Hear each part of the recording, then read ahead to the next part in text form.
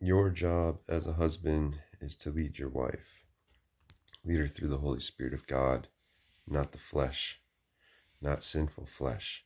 She needs to learn God's word.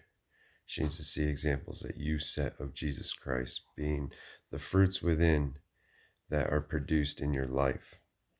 She needs to see your faith when times are tough. She needs to see you worshiping and praising the Lord. She needs to see you in God's word, learning and growing, feeding your spirit.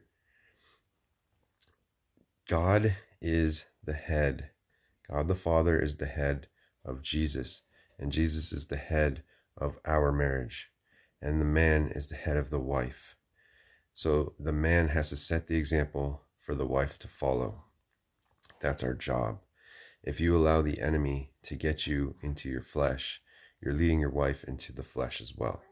Because she's going to see an example set from you that is from the flesh and she's going to be like oh if he's doing it i could do it.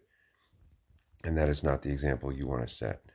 You want to set the example of trusting in the lord of praying and having a prayer life of reading god's word and continually engaging with god fasting together as a married couple and just giving your life, giving all to God, making Him first, not just as people say with words, but showing with actions throughout your life and how you live.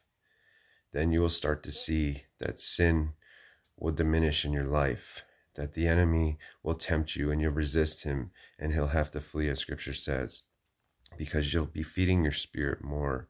So you'll be growing stronger in relationship with God through obedience. God bless.